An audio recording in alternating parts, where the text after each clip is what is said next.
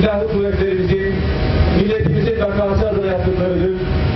Bu bakımdan biz metanetimizle, sabrımızla, acımızı yüreğimize gömerek bu kardeşlerimizi ebediyete uğurluyoruz ve şu anda musallada bulunan bu kardeşlerimizden dualarımızla birlikte son defa sizlerden bir hüsnü şehadet ve helallık al- almak arzu ediyoruz. Bu kardeşlerimizi hali hayatında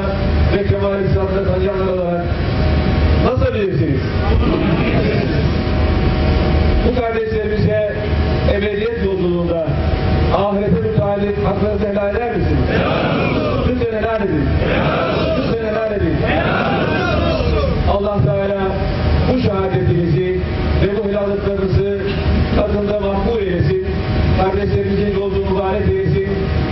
Milletimizi, memleketimizi kıyamete kadar birlik, beraberlik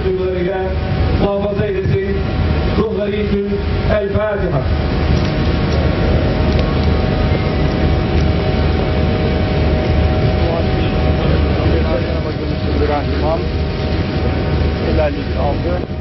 Dualar edildi.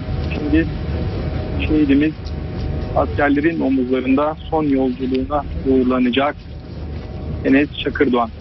Tabii en acısı da Ramazan gibi mübarek bir ayda iftar saatinde askerlerin iftarlarını açtığı bir saatte böyle bir saldırının gerçekleşiyor olması terör örgütü PKK'nın hain yüzünü, kalleş yüzünü bir kez daha ortaya koymuş oldum. Askerler hemen iftar sofrasından kalktılar ve terörlere, teröristlere karşılık verdiler ve o saldırıda da çatışmada da iki terörist öldürüldü. Hemen bu bilgiyi de aktaralım.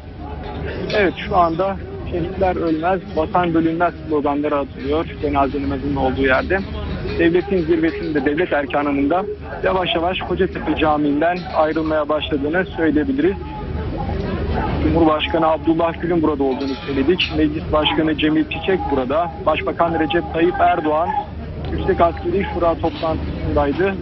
Yaş üyeleriyle birlikte o da buraya geldi. Cenaze namazını kıldı. Şehidimize karşı devletin zirvesi vatandaşlarla birlikte son görevini yerine getirdi. Ve buradan yavaş yavaş ayrılmaya başladılar. Şehidimiz Enes Çakırdoğan da ailesinin oturduğu Ankara'nın Kursaklar ilçesindeki Kursaklar Belediye'deki e, Kursaklar Mezarlığı'ndaki şehitliğe defnedilecek.